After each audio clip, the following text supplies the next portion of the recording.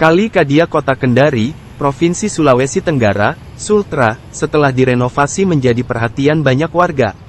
Selain cocok dijadikan sebagai spot bersuah foto karena lampu jalan dan tempat duduk bersantai menambah keindahan Kali Kadia.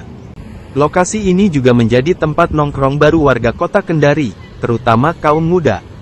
Pantauan tribunnyusultra.com, Selasa, tanggal 30 Januari tahun 2024, untuk menjaga kebersihan lingkungan Kali Kadia, Pemkot Kendari menyimpan tong sampah di sepanjang kawasan Kali Kadia.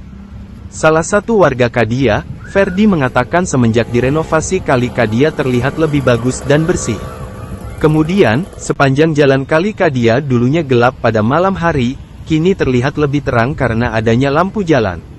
Kalau malam hari, ini Kali Kadia bagus sekali, jadi orang-orang di sini lebih banyak ke Kali Kadia ini pada malam hari, kata Ferdi kepada tribunnyusultra.com. Ferdi menyampaikan, sesekali dirinya juga melihat warga sekitar ketika pagi maupun sore hari, memanfaatkan Kali Kadia untuk berolahraga lari.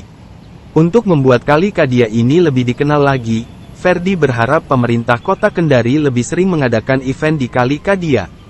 Karena Kali Kadia ini masih sedikit asing di kalangan warga kota Kendari, Kebanyakan yang ditahu sebagai ikon Sultra adalah Masjid Al-Alam dan Kendari Big. Karena posisinya Kali Kadia ini masih baru, mungkin Pemkot Kendari lebih mempromosikannya lagi dengan lebih sering mengadakan event di sini, jelasnya.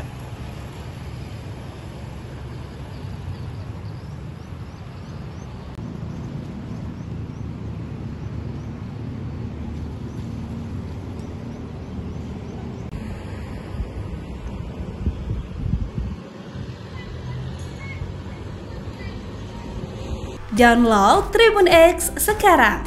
Menghadirkan lokal menjadi Indonesia. Terima kasih sudah nonton. Jangan lupa like, subscribe, dan share ya.